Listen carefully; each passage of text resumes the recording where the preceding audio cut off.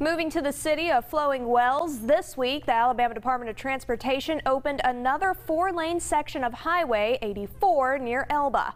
But despite fewer traffic bottlenecks, several store owners say access to their businesses has severely been impacted. Mike Gerspan has the story. This week, a new four-lane section of U.S. Highway 84 in Elba has been opened, but by doing so, it has cut down access into a small shopping center. When leaving those businesses, one can no longer make a left turn. Barricades prevent that from happening. For one gun shop owner here in Elba, he says the access issue is causing a great deal of distress for his customers, as well as poses a danger issue. So now customers will have to go, you know, from Enterprise towards Opp. They'll have to go down there and turn around and cut back up this side road. So yeah, it's made it pretty difficult for them. It's going to make it more difficult for the 18 wheelers that we have delivering shipments.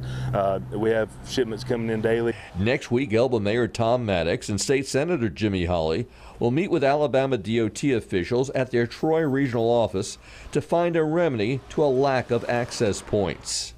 Even some of the folks have turned uh, onto uh, uh, into the wrong lane because they weren't expecting it to be open. Uh, so we need to be real careful and drive safely uh, around those areas.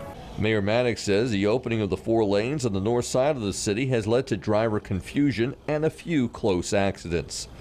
Covering local news first in Elba, Mike Gerspan, WDHN News. Elba Mayor Tom Maddox reminds both residents and visitors to be careful when driving on that new section of road.